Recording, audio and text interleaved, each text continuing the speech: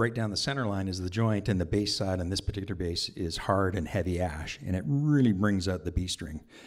And then from the center line, treble wise, it's a lighter, less dense ash, and that warms up the trebles. And you can do that with northern ash and alder, which is what we do with the Lee Sklar model, and that's the most dramatic one that we do.